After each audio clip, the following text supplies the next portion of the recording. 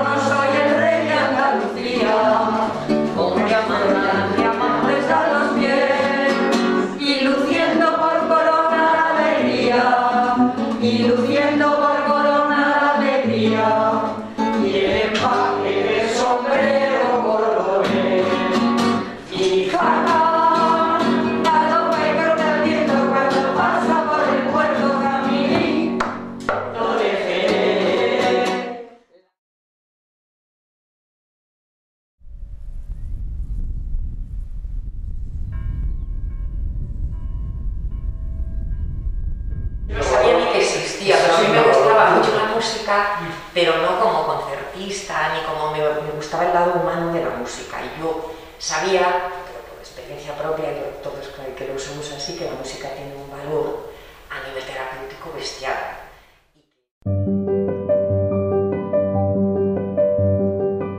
En una comunidad autónoma tan envejecida como Castilla y León resulta imprescindible esforzarse especialmente por atender las necesidades de las personas mayores, más aún si hablamos del medio rural, al que no llegan los mismos servicios que se ofrecen en las capitales de provincia. Esta es la labor que desarrolla Camino Bustamante a través de la música en la provincia de Valladolid. Junto a su guitarra, Camino recorre las pequeñas poblaciones de la provincia para llevar la música a quienes más la necesitan. Y a la gente le hace muy feliz la música, y a la gente mayor mucho más, porque es uno de los lenguajes que más tarde perdemos. Ahora, están abiertos a todo. Tienen, tenemos o tendremos, cuando nos mayores, ten- tenemos el corazón abierto a esas edades. Camino utiliza la música para llevar a cabo una labor integral con las personas mayores que incluye el trabajo sobre las emociones, la imaginación y el entrenamiento de las capacidades cognitivas como el lenguaje verbal, la coordinación o la memoria. Además, ofrece a los habitantes de las pequeñas localidades la posibilidad de socializar, de salir de la rutina y de entablar comunicación entre ellos a través del lenguaje universal de la música. Es como llegar directamente hasta ti en tu casa o en tu pueblo o en tu asociación, pues estar trabajando contigo y además crear unos lazos, una comunicación entre la gente ahora que vivimos tan aislados. Entre ellos se crea mucha unión también por este tipo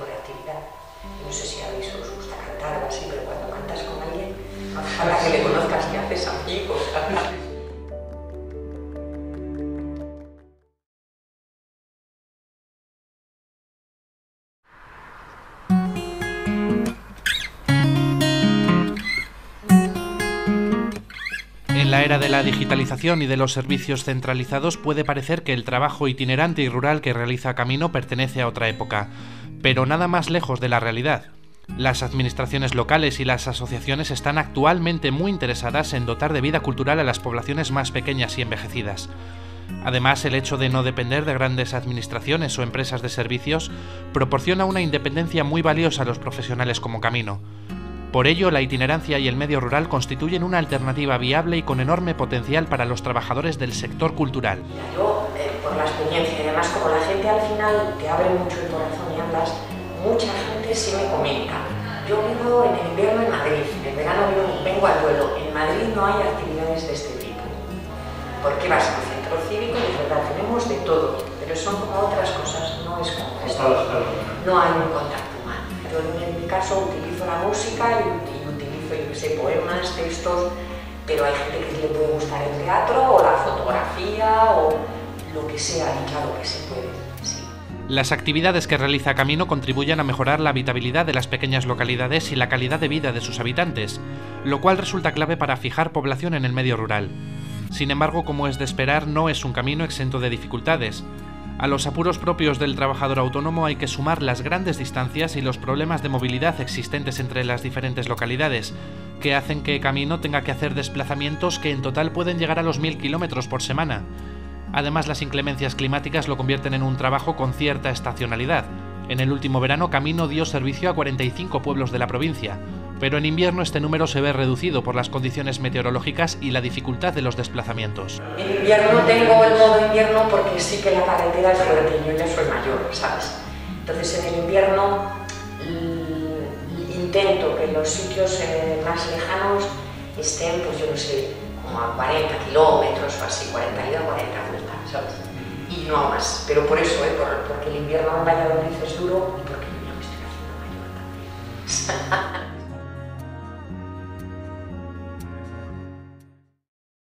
Aquí.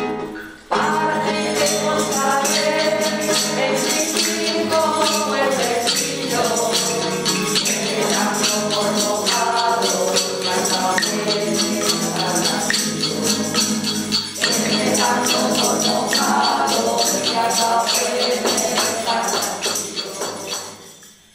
Camino nos ha demostrado que con una buena idea y el trabajo suficiente es posible vivir y trabajar en el mundo rural dando un servicio a las personas que lo habitan.